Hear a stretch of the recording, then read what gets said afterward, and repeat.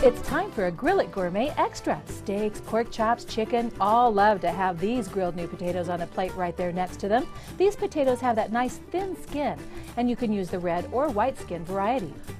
Wash them well and then slice them into quarter inch medallions. We're going to give these a head start in the oven, so place them on a pan with sides, one layer please, then drizzle with olive oil. Just make sure all or at least most of the spud surface is coated with the oil. Sprinkle lightly with salt and pepper, and fresh rosemary is very nice on these. If you put these right onto the grill, they tend not to cook evenly and can get a bit mushy, so into a 350 degree oven they go for about 10 minutes. Pull the pan out of the oven and keep these warm until you're ready to take them out to the grill.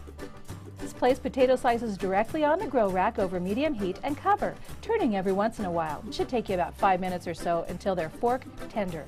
Go for the steak or the chops or just serve these like fries with a little ketchup. And now it's your turn. Invite your friends over, grab your apron, and go ahead. It's time to get started so you can be grilling it gourmet.